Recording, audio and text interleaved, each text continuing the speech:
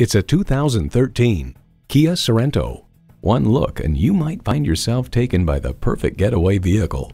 It comes with the features you need and better yet, want.